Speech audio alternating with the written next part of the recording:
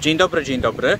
Dzisiaj troszeczkę z innego miejsca. Nie jest to Trójwieś, e, jest to Trójmiasto, czyli nasze polskie morze. Jak Państwo widzą, pogoda jak to nad polskim morzem jest e, czasami sprzyjająca, czasami nie. Akurat w tym momencie nie zachęca do jakiegoś specjalnego e, plażowania i kąpieli morskich, ani też słonecznych. Dlatego postanowiłem, pomyślałem sobie, że może znajdę jakieś ślady Cieszyna. Cieszyna właśnie nad morzem, właśnie tutaj w Trójmieście. Zobaczymy, czy się uda.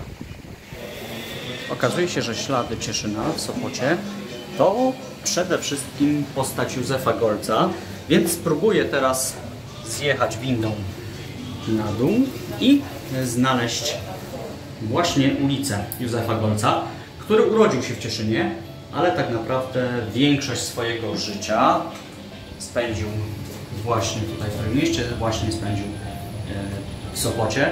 Był nauczycielem, nauczycielem plastyki, był dyrektorem jednej e, z podstawówek tutaj w Sopocie, był propagatorem języka Esperanto, m, również propagatorem szachów.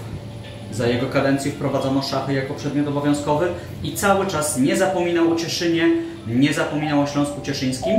No i zobaczymy, gdzie znajduje się w tym momencie ulica Józefa Golca. Honorowy obywatel miasta Cieszyna ma tutaj w Sopocie swoją uliczkę. To jest oczywiście uliczka niedaleko szkoły podstawowej, w której był dyrektorem, ale nie będziemy mówić o szkole, bo mamy wakacje, więc myślę, że najlepszym sposobem będzie teraz, jeśli udamy się jeszcze na chwilę na Sopockie Molo. I tak pomału, proszę Państwa, kończymy nasze szukanie śladów Śląska Cieszyńskiego na Pomorzu. Oczywiście ja się skupiłem akurat na Trójmieście, akurat y, na Sopocie, ponieważ tutaj się znalazłem dzisiaj w tę deszczową, e, pochmurną pogodę. Oczywiście Cieszyna można szukać wszędzie, zachęcamy. Jeżeli ktoś z Państwa jest akurat gdzieś w jakimś mieście e, w Polsce i znalazł jakiś ślad Cieszyna, to prosimy o zostawienie komentarza. No i co, życzę Państwu dobrych wakacji, owocnych urlopów i e, dobrego wypoczynku i oczywiście pogody mm, no, takiej może bardziej słonecznej.